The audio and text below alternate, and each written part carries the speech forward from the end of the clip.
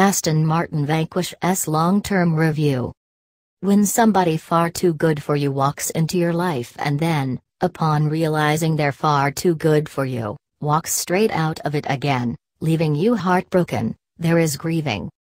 On a not unrelated note, soon this Aston Martin Vanquish S will be leaving Autocar Towers to return to its maker. The Vanquish exudes a kind of passing era feeling, doesn't it?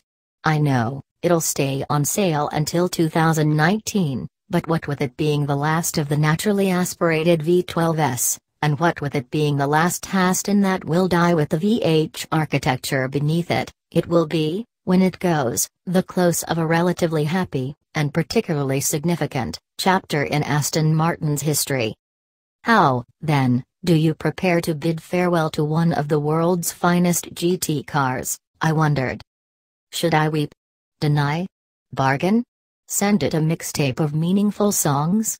Write a poem, like Lewis Hamilton on Princess Di? Oh Vanquish. You were the world's best 2 plus 2. It was funny the way CEO Ulrich Bez used to pronounce you. Your blue and white paint, like Italian pottery, is a la mode. You'd win first in a concours at a Goodwood Festival of Spode. If there was one. No, I think you go for a long drive and enjoy it while it lasts. So I did, to Scotland, because it's big and beautiful and the roads are fabulous and quiet and people don't mind when you overtake them, and because I had a few days to spare, and the weather looked iffy enough to leave the motorbike at home.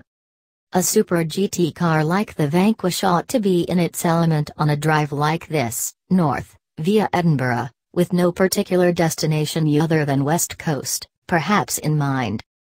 And so it was. With a 78-liter fuel tank, it has a realistic range of more than 400 miles because this is, remarkably, one of those cars in which it's possible to not just match but also easily beat the official, 21.6 miles per gallon, combined fuel economy. I suspect Aston doesn't spend quite as much time as other car makers trying to optimize its cars for a lab test,